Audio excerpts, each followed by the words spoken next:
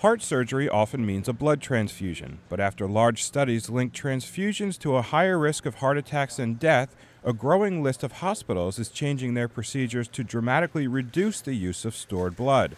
Virginia Commonwealth University anesthesiologist Bruce Spiess has led the effort, but he says even the medical community has trouble accepting that blood may carry more risks than previously thought.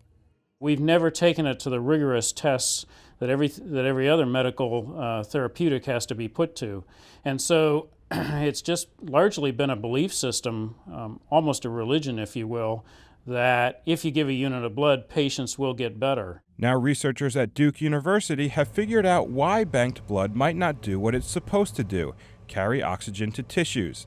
Jonathan Stamler and his team show that while stored blood has just as much oxygen as fresh blood, it quickly loses another gas, nitric oxide, which expands blood vessels. Lab tests showed that banked blood didn't just fail to open blood vessels, it closed them. It sucks up the nitric oxide from the tissues and, and leads to blood vessel constriction. And, and constriction of blood vessels means uh, decreases in blood flow, absent blood flow, which may be the cause of the heart attack. As they wrote in Proceedings of the National Academy of Sciences, they developed a simple way to add nitric oxide back to stored blood. Tests in animals indicate it works. When the blood is infused into animals, those animals um, then get oxygen properly. Stamler hopes offering a solution will improve the safety of blood, what he calls a national treasure. I'm Brad Closa.